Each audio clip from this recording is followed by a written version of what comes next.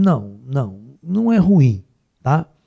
O, nós temos que criar uma forma harmônica de sobrevivermos e também deixar o sistema harmônico equilibrado.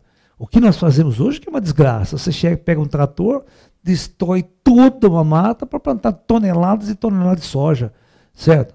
Milhares de alqueires de soja, né? Aí você estimula a produção de, de insetos, de pragas, e aí você vai ter que usar inseticidas cada vez mais poderosos, aí polui o solo, polui tudo. Não? Uma agricultura agroecológica é aquela agricultura sistêmica, onde você mistura uma, uma forma variada de plantas, tá? para que o sistema se, se torne autoimune ali. Tá? É muito legal essas ideias. Né? A gente tem que incentivar o consumo de agricultura orgânica.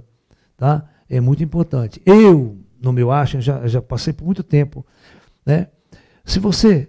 Olha o teste. Eu, nós pegamos, né, plantamos umas árvores frutíferas e começamos a colocar. Comprava adubo químico e colocava. Cara, não ia de jeito nenhum aquela porcaria. Aí nós falamos, vamos fazer um sistema de compostagem, vamos colocar, né, vamos pegar todo o material orgânico que nós tivemos, vamos produzir, vamos jogar. Cara, a hora que a gente começou a fazer adubação orgânica, ecológica, meu, as plantas vieram como uma maravilha, as frutas vieram de uma maneira que vocês não, não entendem, cara. A gente não precisa de adubo químico, tá? A gente não precisa dessas coisas. A gente só precisa usar de forma inteligente todo esse lixo orgânico que a gente reproduz na cidade. Se a gente separasse isso, colocasse em compostagem e mandasse para o campo, para as hortas, você não tem noção como a gente ia comer alimento de alta qualidade sem precisar gastar essa puta grana com adubo químico e agrotóxico.